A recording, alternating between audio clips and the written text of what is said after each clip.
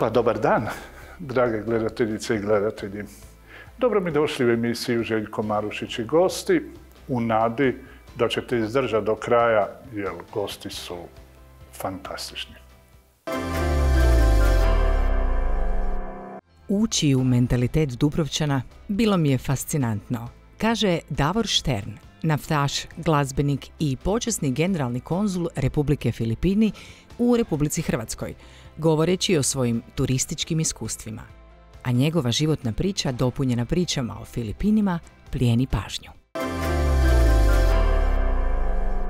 Najljepše zahvaljujem e, svom domaćinu, gospodinu Davoru Šternu, što nam si je ugostio. Dobar dan. Dobar dan.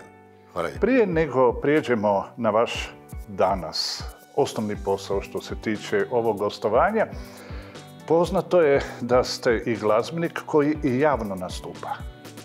Pa malo ispričajte o tome.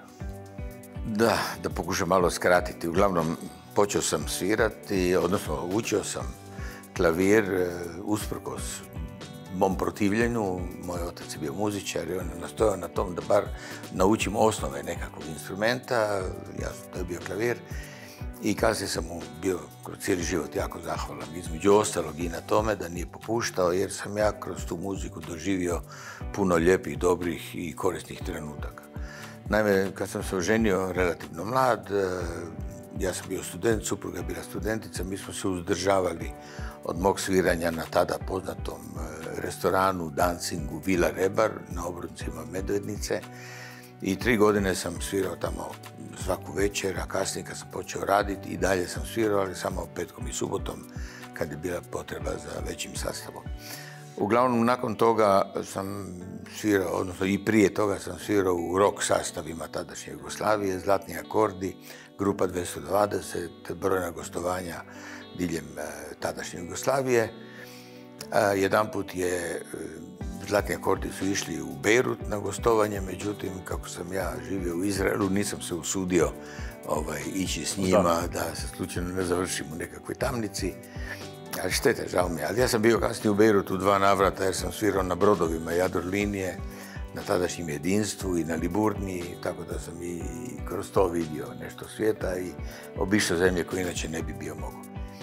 E, kroz posao mi je klavir nešto i pomogao, pogotovo dok sam radio u Rusiji, jer znate, posao zna biti suhoparan, ali kad ga se začini sa malo nečega neobičnog, onda se na to isto razlikujete od svojih konkurenata i dolazite u situacije u kojima se lakše sklapaju poslovi, poznanstva i, i, dogovaraju se određeni. To ste koristili muzikoterapiju prema svojim poslovnim... Pa na neki način kad dođete u restoranu, uglavnom u Rusiji, e, svaki restoran ima klavir.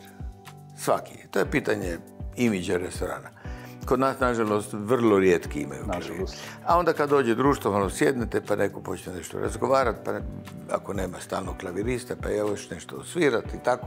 I tu se razbije nekakvo uštogljenost e, poslovnih odnosa ljudi su svi ljudi, svi vole muziku, pa kad malo vodke poteče i e, ruske romance, stvori se drugačija atmosfera koja vas na neki način razlikuje od vaših e, e, konkurenata u tom poslu. blues? I blues isto, jasno, moram se pohvaliti, evo javni nastup u bluzu sam imao ovo ljeto u Trilju. Trilj ima naime, napravili su jedan fantastičan proizvod, zove se Thrill Blues Festival. Trilj su preveli u thrill e, na engleskom, što znači ovaj, oduševljenje. Da, da, da.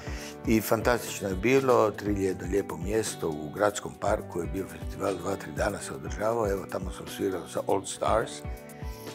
I e, inače dok sviramo, sviramo ponekad i bluzeve, ali uglavnom moj band koji se zove Superstari, sastavljeni od mojih prijatelja s kojima sam svirao i prije 55 godina. Puno toga ste prošli. Poznato je da je vaš e, otac prošao konclogor, oduzeta mu je, oduzet mu je MTČ u Čakovcu i tako dalje. E,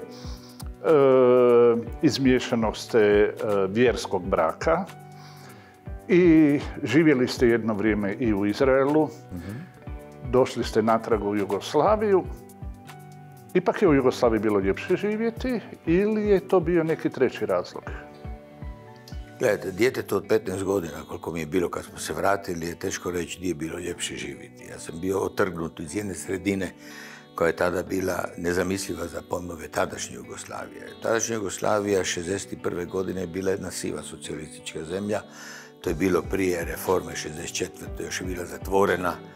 E, I bilo mi je sve strano. Ja nikad prije nisam doživio zimu. Ja nikad prije nisam vidio snijeg do svoje 15. godine.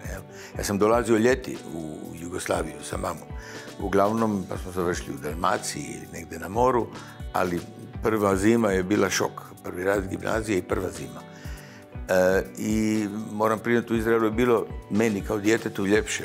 Plaža, kupanje kroz cijelu godinu. Živjeli smo na obali Mediterana, u Tel Avivu koji je tada bio jedan grad u procvatu. E, I dan danas je on puno življi nego Zagreb. E, ali istovremeno je bilo i negativnih strana, prvenstveno sigurnost. Puno puta sam trčao u podrum radi zračnih uzbuna, prošla su dva rata sa susjednim arapskim zemljama i tako tu je bilo i negativnih stvari.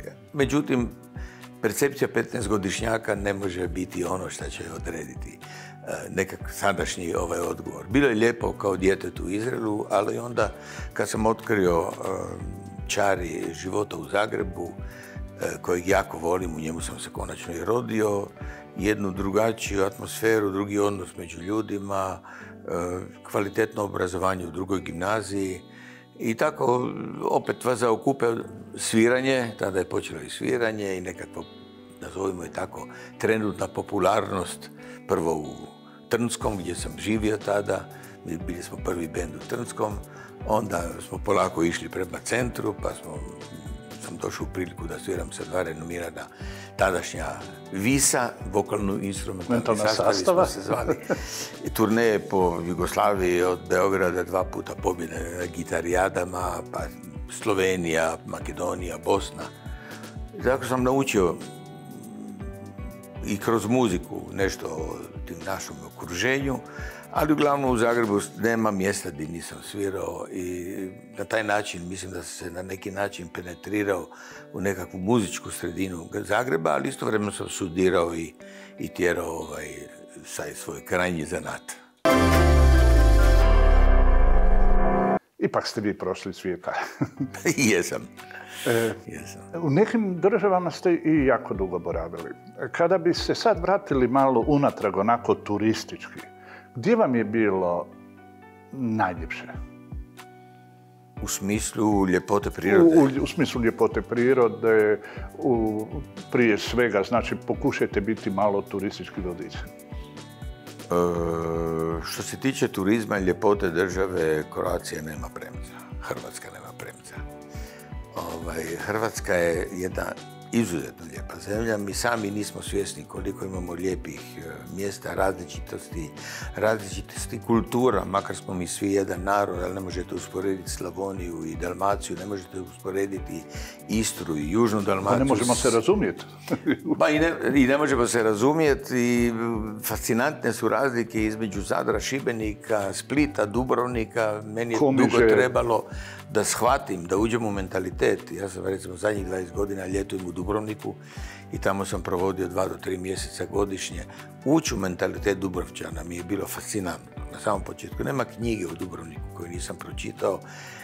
Koristio sam jesen i proljeće kad nije bilo puno ljudi da hodam po gradu, da gledam ta dostignuća koja su ostavljena sadašnjoj generaciji koja to ne zna iskoristiti, odnosno zna u smislu rentijerstva. Ali danas napraviti ponovo takav Dubrovnik, mislim da niko ne bi mogao. A ne samo Dubrovnik, nego i Split, i Šibenik, i Zadar, a i Zagreb u krajnjoj liniji. Ne znam gdje se izgubila ta poduzetnost i ta volja da se kroz napredak ostvaruje u cjelokupni napredak. Novac jednak dolazi kroz turiste. Pa ne osjećaju valjda potrebu pa vjerojatno, nažalost, smo stvorili jedan mentalitet rentijerstva među mladima koji ne osjećaju potrebu jer svaki od njih ima nekakvu naslijeđenu imovinu, kuću, stan, apartmančić, garažu koju je pretvorio apartman, pobere par tisuća eura od toga i s tim živi još sa strane što radi. Kult rada je ubijen s tim jer rad je postao na neki način sramotna pojava i žao mi je radi toga, ali bojim se da ćemo morati promijeniti ne bojim se, nadam se da ćemo promijeniti stav prema tome, jer na takav način to ne može dalje ići. Jedna loša turistička sezona je puno ljude dovela u depresiju, samo zato jer nisu mogli doći do novaca na lak način na koji su bili navikli. Prošle godine za Od inozemstva što vam se dopalo? Ako ćemo po redu slijedu, mhm. što se tiče ljepote, možda bi stavio ipak Izrael ispred Rusije. E, u Rusiji sam živio, naime, 16 godina. Radio i živio i puno sam putovao po Rusiji, ali to je tada bio Sovjetski savez. Pa je bilo i tu Uzbekistana i Kazahstana i ovaj, Tadžikistana. Tako da su to, danas to moramo razlikovati, ali Rusija je lijepa, ima svakako prekrasnih predjela, međutim, Izrael je fascinantan jer na tako malom mjestu toliko različitosti, više vjera i mhm. nekakvog povijesti i svega toga nego sama priroda. Ono što je fascinantno u Izrael je promjena prirode, jer ono što sam ja kao dijete vidio kao pustinja, danas su zelene oranice, pašnjaci i nasade. 50 km od Tel Aviva je počinjena pustinja, kad sam ja bio dijete. Danas se vozite 250 km od Tel Aviva kroz zelenu područje koje je isključivo navodnjavanjem i radom dovedeno do toga da Izrael živi velikim dijelom danas i od poljoprivrede i ne samo od turizma. Kako je to biti naftaš? Mi uvijek tu naftu i sve vezano uz naftu povezujemo s ogromnim bogatstvom. Je li to stvarno tako u životu? Pa to se stvari mijenjaju. Gledajte, kad sam ja počeo studirati naftu, silom prilike, jer nisam prošao na prijemni ispit za medicinu, onda sam se slučajno upisao na naftu, tamo je bilo jedino ovaj, otvoreno da se sa mojim uvjetima upišem na naftu, malo sam slabije bio džak u gimnaziji radi Bili ste sviranja. Aha, radi se tako, nestašan. Oduzimalo je vremena. Ovaj, upisao sam tu naftu koja je tada bila nekakvo rubno zanimanje. Kogod nije uspio ući na strojarstvo ili na elektrotehniku, da se upisivao na rudarstvo ili tako nekako srodno tehničko zvanje. Ali je tada nafta koštala 3 dolara po barelu. I to je bilo logično da se tada iz nafte nije stvaralo e, bogatstvo, osim onih par velikih sedam sestara koji su temeljem ogromnih prometa po nekoliko centi je ostajalo od svakog barela, pa je to opet na kraju bilo veliko bogatstvo. Ali još nije postojala burza, nisu postojale burze e, nafte? Ne samo nafte, nego svih ostalih burzovih artikala. Kao takva još nisu bile saživile i prvih deset godina je nafta bila kao nekakav dobra, ali nije bila kraljica, nazovimo ga, stvaranja e, super profita. E kasnije kad su cijene počele divljati i u jednom momentu su čak došle 98. na 140 dolara po barelu. Sad zamislite od 3 dolara na 140. Jasno da je tada počela jedna ogromna akumulacija kapitala koja je stvorena kroz sirovinu koja i dalje imala e, proizvodnu vrijednost relativno nisku, ali prodajnu vrijednost izuzetno visoku ne možemo sad ući u analogiju e, zašto se to sve skupa događalo. To bi pojelo nekoliko emisija, bojim se. Ali evo da, pogotovo u vrijeme privatizacije nafte u Rusiji, E, naftna polja koja su bila u vlasništvu država su bila na jedan čudan način privatizirana i predana u ruke uglavnom direktorima tih naftnih polja. On je bio prije direktor u ime države, onda je postao direktor u svoje ime, kroz vaučersku privatizaciju otkupio to nalazište nafte i došlo je do ogromnog gubilanja velikog bogatstva u rukama pojedinaca.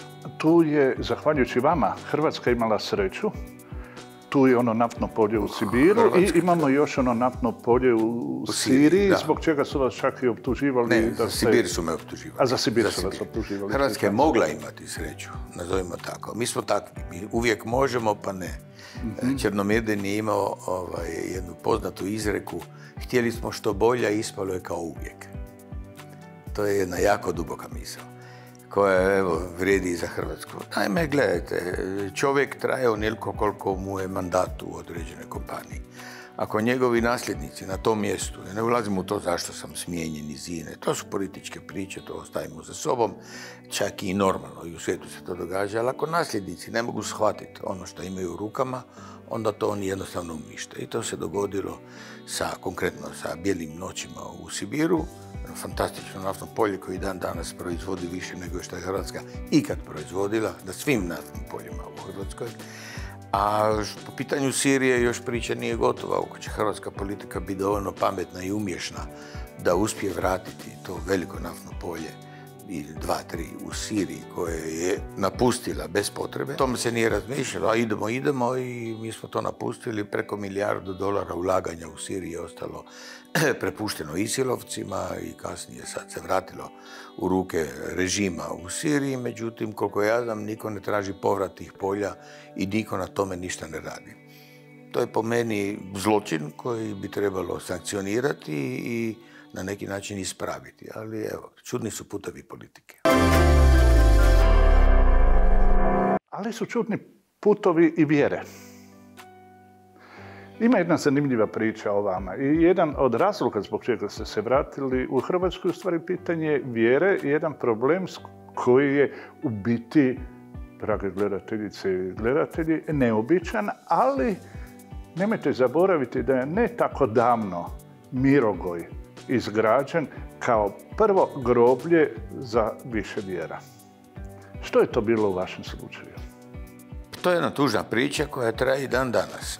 Naime, Izrael e, je izložen vjerskim pritiscima židova koji su, pokušavam ih razumjeti, nakon toliko godina iz znanosti, 2000 godine od pada hrama su oni napokon dobili poslije e, državu državu poslije drugog svjetskog rata, poslije užasnog holokosta, 1948. godine proglašena država Izrael. Mi smo se doselili 1949. još u jeku borbe za oslobođenje Izraela. E, I jasno da oni štite svoju vjeru i pokušavaju održati čistom koliko je to moguće.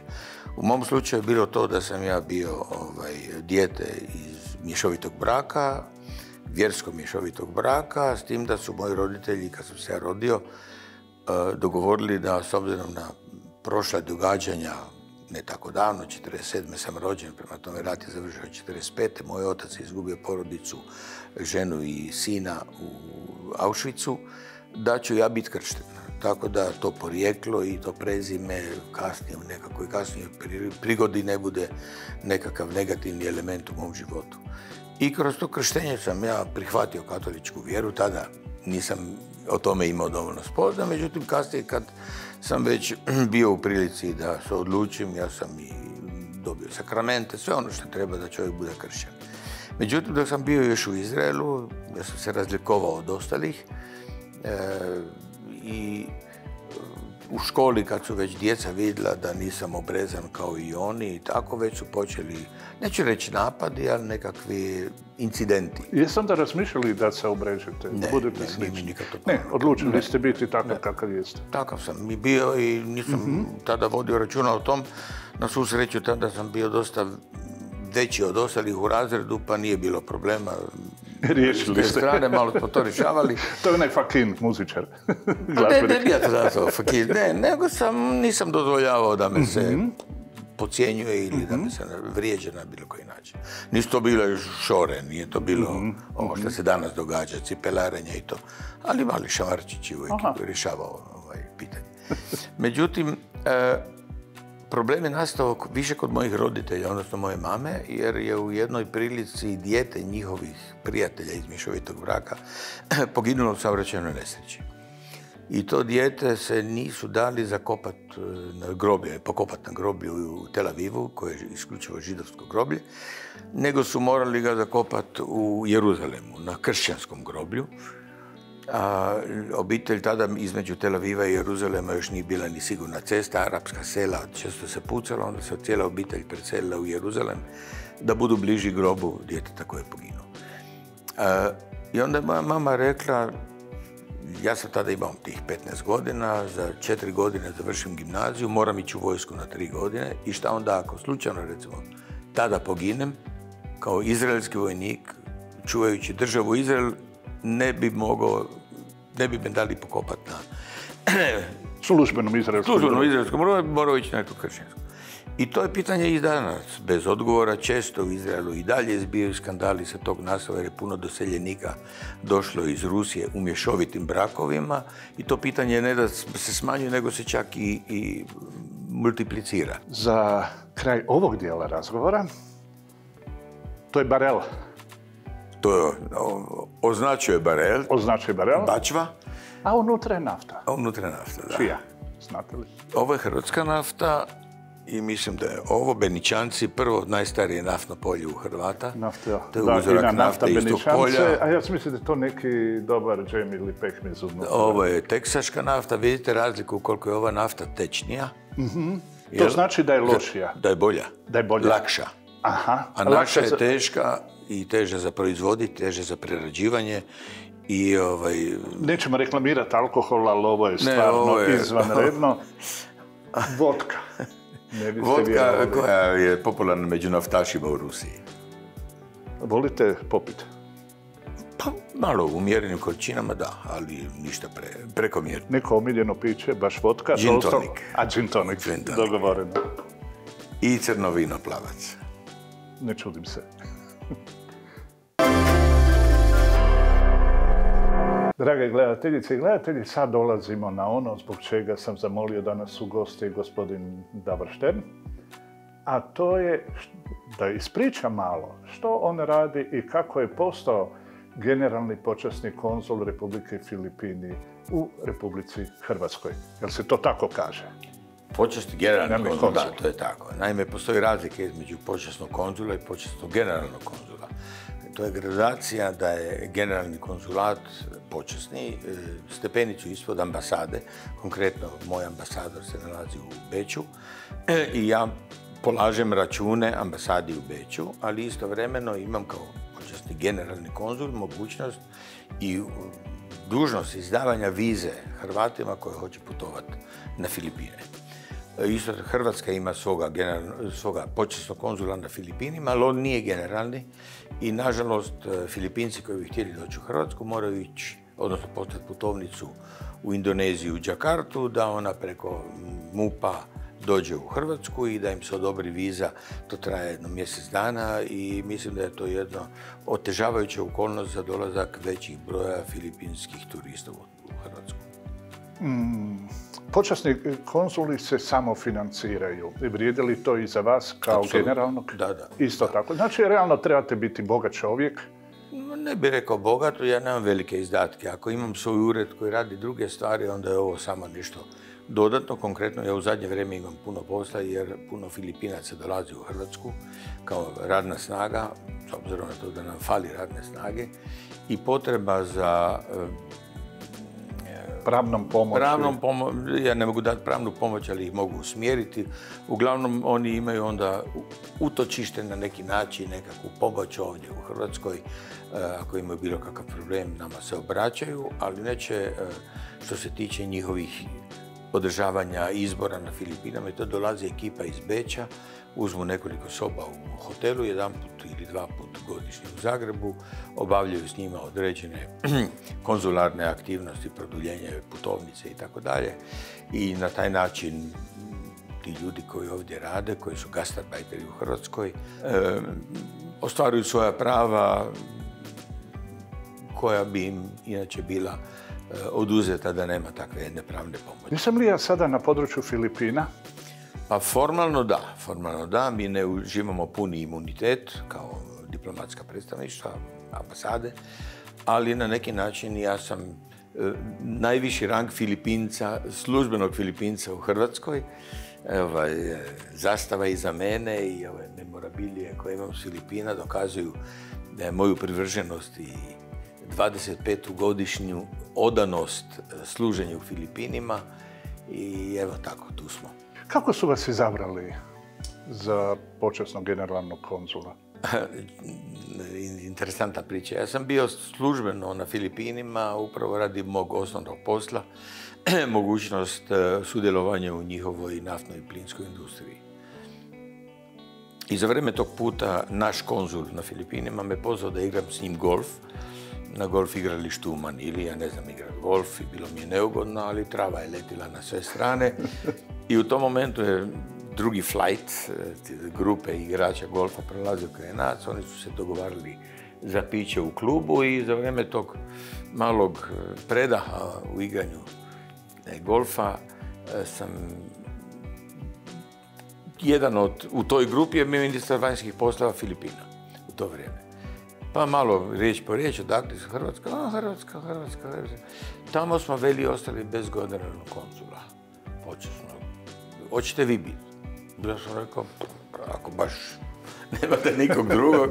evo tako, mislim, jednostavna priča. Ja tada u Filipinima sam znao jako malo i nisam nikad mislio da ću biti povezan ni na koji način sa dalekim istokom, ali to mi je otvorilo nove perspektive. Ali godi biti konzula? Pa ja ne vidim u tom nikakve ovaj, posebne počasti, da vam iskreno kažem.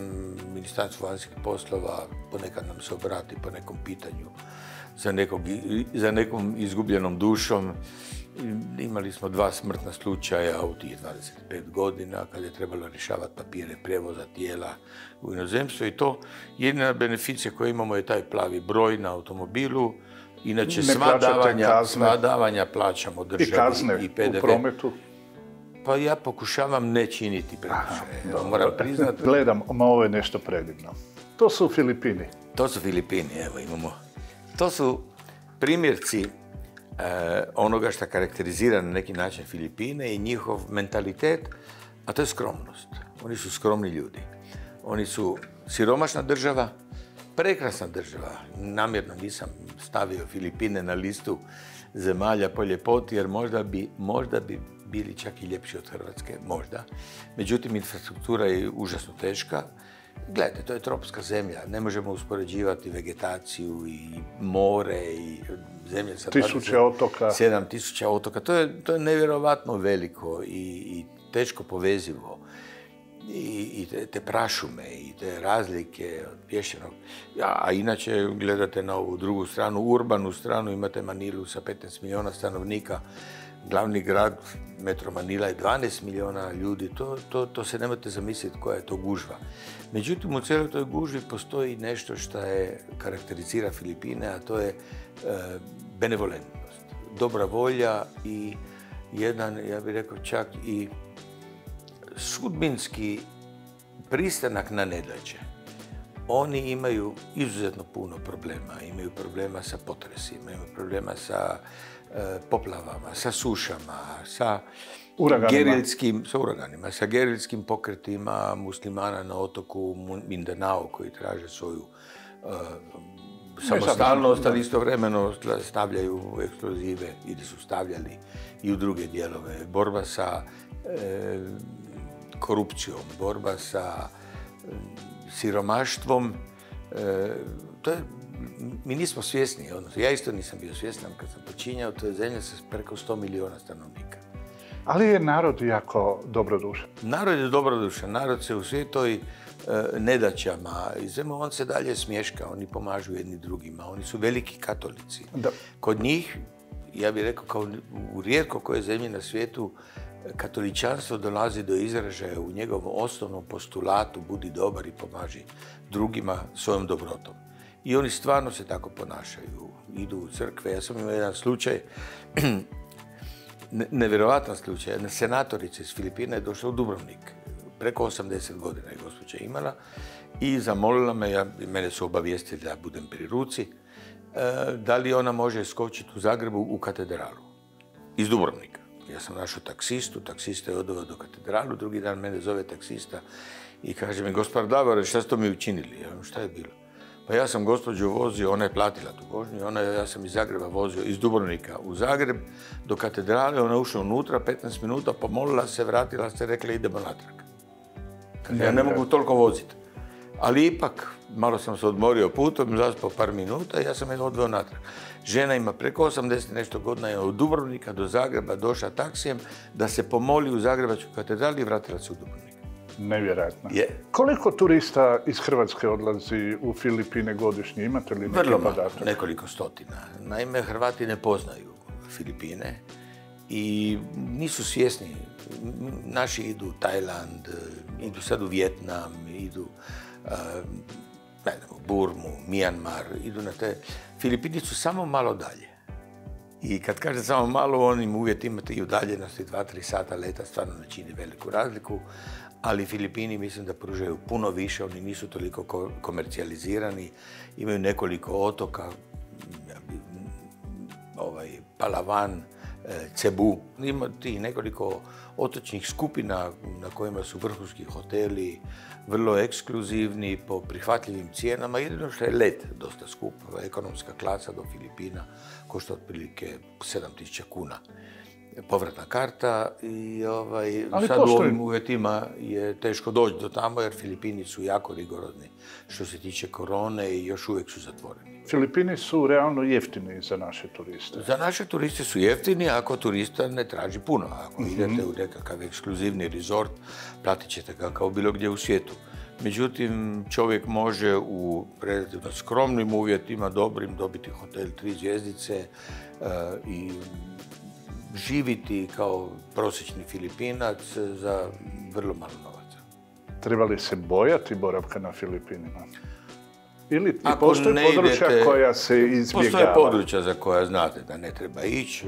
Konkretno Mindanao je nemiran kao otok. E, dijelovi Manile, isto tako Velegrad u kojem imate svakakve kvartove i kod nas u Hrvatskoj se zna u koje dijelove grada baš nije preporučeno ići po noći. Nije to opasno, ali može se nešto dogoditi. Ali u svakom slučaju kao zemlja, pogotovo nakon dolaska predsjednika Dutartea na vlast, konkretno njega puno kritizira jer je on dao policiji odrečene ruke po pitanju uh, opojnih droga. Policija je početkom njegovog mandata nekoliko tisuća ljudi ubila. Nažalost, moram tako reći, ubila ali je nivo općeg kriminaliteta na Filipinima u dve godine pao za 70%. Prema tome, 70% pitanje je, opet ulazimo u neko područje gdje nisam kvalificiran za raspravu, nisam sociolog i ne bi znao o tome puno govoriti, ali mislim da jedan liberalizam za sobom nosi obavezu da i ja kao nazovimo ga pošteni građanin, ima pravo na svoj život bez da me neko ugrožava. A ne samo onaj koji me ugrožava da ima pravo na pravilno postupanje. Možda je to prečvrsto, međutim ja mislim da je za bilo vrijeme... Uvjete. Za tamošnje uvjete je apsolutno prihvatljivo. Tako jedno gusto naseljenoj zemlji sa tolikim problemima, bez čvrste vlasti nema ništa. I završimo s latkim. Hrana na Filipinima. Hrana na Filipinima je interesantno pitanje jer je hrana na Filipinima na neki način e, kompilacija između evropske i istočne hrane. Konkretno kako su Španjolci stotinama godina vladali Filipinima. Još jedan element koji pokazuje benevolentnost Filipina. Pa Španjolci su bili konkvidistatori. Oni su osvojili i vladali Filipinima. Španjolski kralj Filip je, po njemu su Filipini dobili naziv svoje zemlje. Sad zamislite bilo koju drugu naciju na svijetu koja bi zadržala ime čovjeka koji ih je porobio nakon što su dobili samostalnost. Nema, čak ruše spomenike. Tako je. Ne, Filipini se zovu po kralju Filipu i oni su dalje. Evo, Španjolaca su dobili ljubav prema svinjetini, prema, tu su vrlo blizi nama, vole pršut, vole pečenu svinjetinu. Da, i vole pečenu svinjetinu iznad svega. Kad dolaze ovamo, restoran, ja im nudim širok dijapozon hrane koja se nudi u Hrvatskoj. E, odojak je njima najslađa hrana i to da vidite kojim oduševljenjem e, e, navaljuju na tog odojka, zovu ga lečon, jer leće je mlijeko. Znači, svinja koja još siše. Da, da, da, Tako da ovaj, što je manja to bolja i to je njima osnova. Drugo imaju sa dalekog istoka puno piletine, onih dijelova piletina koje mi ne jedemo, to su ove kanđe, krilca i tako mi jedemo krilca, ali recimo ne do te mjere koliko Filipini, onda imaju puno riže, paste. U zadnje vrijeme jasno da je pizza raširena e, po cijelom svijetu, tako i na Filipinima. I, e, kažem, njihova kuhinja je kompilacija nekakvih e, evropskih jela i dalekoistočnih jela nema neku posebnu svoju karakteristiku. Hvala vam lijepa. Molim lijepo. Ovo je bio gospodin Davor Štern, počasni generalni konzul Republike Filipini u Republici Hrvatskoj.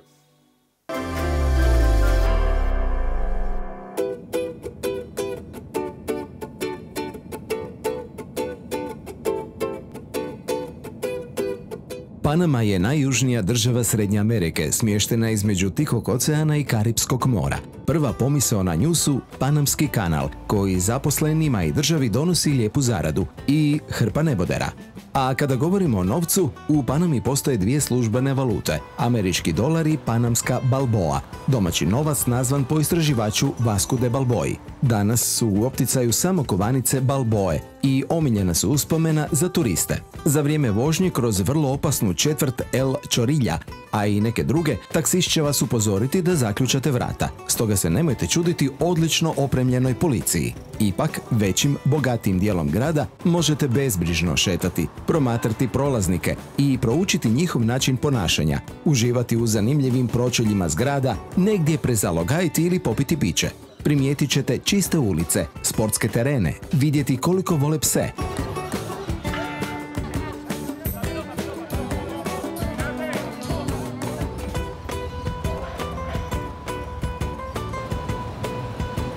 A ne libite se i potrošiti koji dolar u nekoj trgovini i svakako otići do spomenika Einsteinu. Njegova glava je zaista dojmljiva. Nemojte se zabuniti i tražiti da vas taksista odveze u Panamu Viejo, jer ćete završiti u još jednoj opasnoj četvrti.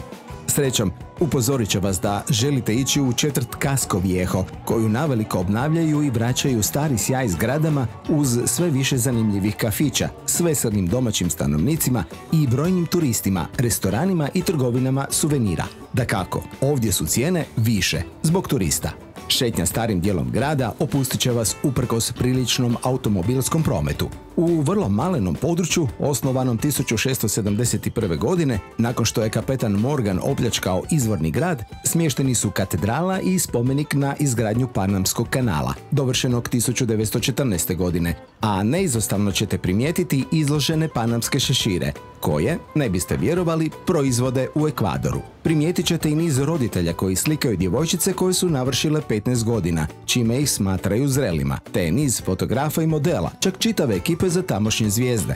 Uz toliko lijepih ljudi raznih rasa, to je neizostavno u tako krasnom okruženju. Valja se samo opustiti i uživati u pogledu na njih i kolonijalnu arhitekturu, prošaranu veselim bojama i zeleninom, a sve smještano nekako tu, blizu.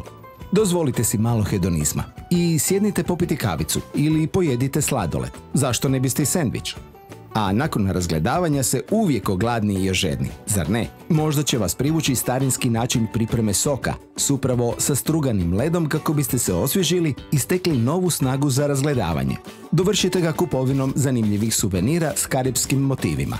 Uspješnim cjenkanjem možete jeftino kupiti prekrasne slike s uljem na platnu, majcu, lutkice u karipskoj nošnji ili magnet. Cjenkanje je itekako dobrodošlo jer ćete proći i do 50% jeftinije. I dok šećete središtem Paname, ulicama punim zelenila prema nekom restoranu, a kako je vrijeme za obrok, možete birati neku gostionicu u starom ili novom dijelu grada s odličnom ponudom raznolikih jela, od karipske i američke preko latinoameričke do europske i azijske kuhinje. Panama je skupa, tako da ćete običan ručak platiti približno 30 dolara, cijeđeni sok 4 dolara, a magnet 3 američka dolara. I jedna zanimljivost. Lanci takozvane brze hrane su zastupljeniji u trgovačkim centrima nego li na ulici, a čuveni McDonald's ima posebne kioske sa sladoledom s maštovitim preljevima. I da, Panama je bila prva država izvan Sjedinjenih američkih država u kojoj se počelo prodavati Coca-Colu.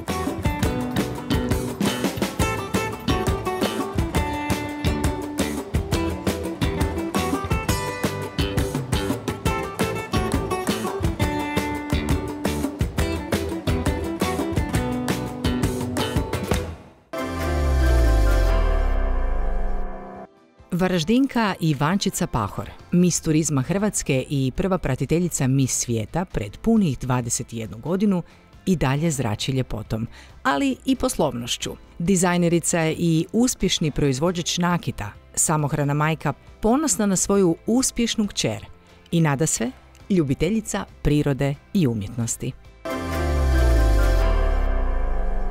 Ivančica Pahor. Dobro mi došli. Dobar dan svima. Prije 20 godina misica. Čak i 21. 21 godina već. Mis turizma Hrvatske i prva pratilja mis turizma svijeta. Da. Pa kakav je to osjećaj biti misica? To su bila neka drugačija vremena nego danas. U to vrijeme nije bilo e, osoba koja influencerica, nije bilo e, interneta u tolikoj mjeri. Ovaj. To smo ne, neka totalno drugačija vremena koja današnje djevojke ne mogu zamisliti. Ovoga. Ono vrijeme ja sam dobila na trajno korištenje automobil e, kao mis, razne beneficije i tako ovoga. Taj svijet može mladu djevojku jako ponijeti i mhm. onda tebe traže na raznim mjestima, e, pojavljaš se na naslovnicama, svugdje si dobro došla i tako i onda djevojke se zanesu i oni misle da su boginje na neki način, ali ona ti ovaj gore vele, ne, ti si jedna ovoga, još si jako zelena i spusti se dolje, još moraš puno raditi, moraš studirati i sve ima neki svoj put u životu. Znači, odhrvali ste se toj privlačnosti velike slave? Pa na neki način jesam, ali uvijek ali ste iskoristili? Je, jesam, hvala Bogu. U, naravno. Je li to prirodno u obitelji takva građa tijela ili je to ipak dosta rada Pa ne biste vjerovali, ja strašno puno sjedim i uh, vozim prvenstveno. Radim 60.000 km godišnje, moj posao mi zahtjeva da, ono, da tako, uh, ali ne znam, tako vjerojatno i genetski jednim dijelom, a ovaj, pazim. Naučila sam da jedem zdravo i tako to mi je način života. I... Što podrazumijevate pod zdravo? E, pa, preferiram domaću hranu, evo recimo, mhm, od, mhm. Od domaćih OPG-ova i tako. Vi ste Varaždinka, pa znate što je dobro? Naravno, mi smo veliki gurmani, inače, ali... Znači, kupusi često na stolu? Pa, Varaždinsko zelje Jednom tjedno svakako. Svaka čast. I, kažem, tijelo je savršeno, to kao muškarac moram reći, ali će se i mnoge gledateljice složiti. Niti duh ne zaostaje. to vidim, to je više nego vidljivo. U zdravom tijelu, zdrav duh. Da, ne baš kad ste rekli duh, e, niste posustali, završili ste povijest umjetnosti. Pa e, nisam završila do kraja, ja sam ovoga, u jednom dijelu, pred kraj tog studija morala stati, nažalost, jer sam, uh, tad se rodila moja kćer Una i ovaj, ono, onda krenula sam jednim drugim putem, nakon toga, mislim, žao mi je, nisam uspela do kraja, ali na neki način živim umjetnost i danas. Ove... To je više nego očito upravo prema ovom stolu, što je dio, samo dio vaših radova. Kada ste se odlučili krenuti eh, s izradom nakita? Pa to je bilo sasvim spontano ovako. Ja sam uh, otvorila firmu prije puni 15 godina i onda sam krenula sa izradom unikatnih haljina i uh, tih stvari i onda sam uz to počela s nakitom i tako ovoga. sam otvorila jedan butik na Hvaru i jedan mali štandić koji je jako uspješno radio i tako je ovoga, mi se ukazala mogućnost da radim i da izrađujemo nakit za DM. I ovoga, tu su mi se otvorila jedna velika vrata u mom životu. I ovoga, tako smo krenuli na jednoj malo višoj razini e, sa nakitom i ovoga, toga se razvija veliki biznis. mm Koliko zaposlenih imate? Nažalost moram reći, morala sam otpustiti neke ljude u ovoj koroni, u velikoj krizi. E, to me je strašno pogodilo i ono kao da je neko otkinuo komad mene. Ovoga, jer to, te žene koje rade u mojoj tvrtci, one su stvarno kod dio moje obitelji. Ovoga. Mhm. Moja majka je tamo i brat i svi smo. I to, mi smo jedna velika obitelj. nažalost morala sam otpustiti neke djevojke i to, baš me to jako strašno pogodilo. Sad nas je sedmero, ali planiram širenja. A u najbolje doba vas je bilo? Deset. Krasno. Da. Rekli ste da je... Nije jednostavno raditi sam za, da sam radi, u današnje vrijeme ovoga, nije jednostavno sam sebi isplaćivati plaću i doprinose, Točno. a kamoli zapošljavati ljude. Ovoga. To je jedan veliki izazov. Da, mnogi, mnogi zaposleni zaboravljaju e, kako je vlasniku tvrtke, koliko je tu neprespavanih noći, hoće li biti pa za plaće. Pa ja sam živi svjedok tome, stvarno. Ovoga. To je velika žrtva i mi smo 24 sata u tome, cijela moja obitelj. Ja sam začetnik ovog svega, ali ovoga, oni su mi velika podrška. Spomenuli ste DM. Da. Je li to samo na hrvatskom tržištu ili... Pa bili smo prisutni do nedavno i u Bosni, ali s obzirom na ovu cijelu situaciju koja se događa sa covidom, onda morali smo suziti samo na Hrvatsku za sad. Mhm. Ne, ono, ne, neće biti mogućnost da... Ali proda ide dobro. Ide jako dobro, stvarno. Ovaj, mislim, nosili smo se sa velikim padovima sad i ovaj, to su bili onda i veliki izazovi za mene. Trebalo je opstati u ovom svemu. Ovaj. Ja sam samostalna, ono, niko ne stoji za mene. Sve, sam, sve sam stvorila iz nule sama i ovaj, to bi bilo jako velik poraz za mene da sam morala zatvoriti ovu tvrtku i Uspješna poduzetnica. Kako se to postaje? Što je to bila prekretnica u životu? Znači na vrhuncu slave neću. Pa bila je prva prekretnica je bilo to što sam vidjela da, me, da se ja u tome svemu gubim, da nestaje tu moje identitete, da me svi za nešto trebaju i da sam ja neko sredstvo koje služe nekome da e, zaradi, ne znam, se prodaje novine, da ovako, da onako. Ja se nisam u tome osjećala dovoljno sretno i onda sam napravila jedan pomak u životu pa sam se makla iz toga. A druga prekretnica je bila kad se rodila moja kćer Runa i ja kako sam samohrana majka, imala sam veliku životnu zadaću da, ono, da digne na, noge. I, ovoga, i tako Kako je biti samohrana majka?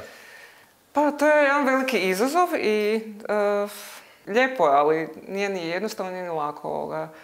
Je li vas okolina osuđivala?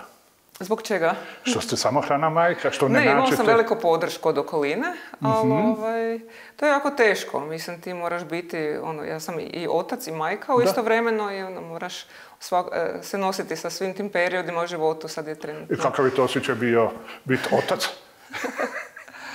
ja stroga sam, stroga sam mama, pa onda... Onda otac je malo ponekad znao popustiti. Ali ne mogu reći, moja kćer meni sve vraća. Ono, koliko sam uložila nju, ona meni trostruko više vraća. I... Znači, sretna ste osoba. Sretna sam majka. I... A to poduzetništvo, svi pričaju da su žene e, slabo prihvaćene u poduzetničkom svijetu. Je li to točno? Pa nije, sve je u tome kako se ti postaviš. Ja sam imala dosta onako, e, bila sam osuđena na neke predrasude, pa će svako reći ona je lijepa, ona je bila misica, makar je to prošlo sad već 20 godina i više, ali uvijek te okarakteriziraju, ti si ono misica i ko zna njoj je lako, ali moraš se puno više truditi da, dokažeš Aha, da ste vrijedni. Da. Jel kažu da lijepi ljudi daleko lakše uspiju u Mislim, životu? Mislim, tebi su otvorena, mnogo, mnogo više vrata ti je otvoren, ali isto tako to nosi sa sobom i ljubomore i zavisti. I Mi smo čudno društvo, mi Hrvati.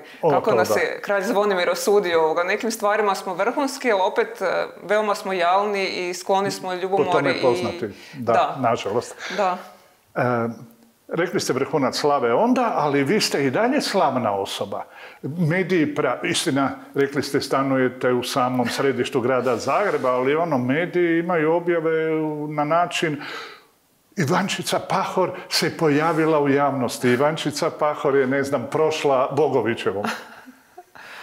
Kako je to osjećaj kad se pa- vidite na naslovnicama, na, na, internetu? Meni je to sasvim normalno, neće me sad iznenaditi neki članak. Ono, mhm. ja sam, da, moja mama ima tri kutije tih članaka iz novina. Ovoga, ja sam svakodnevno bila nekim... Naravno listovima i tako. Ja na neki način makla sam se svega toga jer rekla sam vam i prije, našla sam se na nečem sasvim drugom i tako. Haljina vaša kreacija? E, ova haljna nije, ali to je od gospođe Grete Gudelj, pošto ja podržavam hrvatski proizvod i uvijek ovaj, potenciran da se kupuje hrvatsko. To je potpuno u redu. Svoju frizerku imate, sve imate svoje? Sve svoje. Ma, odlično. Ali ja sam jako jednostavna. Vrlo malo trošim na frizerske salone, ne uređujem, ne idem na pedikure, neke ove galiranje nokti, trepavice, ovo ono, to je sve kod mene. Ono. znači škrti ste? Nije da sam škrta, ali nemam vremena. Škrta sam na vremenu jer mislim da mhm. mogu to vrijeme uh, upotrebiti da prošećem prirodom, da s kćeri odem u kazalište. I to čitate moje misli. Upravo sam htio pitati, boja je krasna, gdje djetujete, kamo volite ići? Pa mi strašno puno putujemo.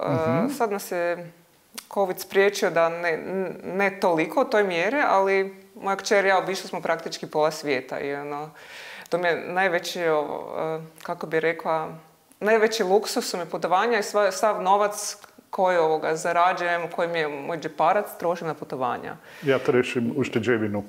ušteđevina, da. I to je najbolje utrošen novac, evo, za U mene. svakom slučaju.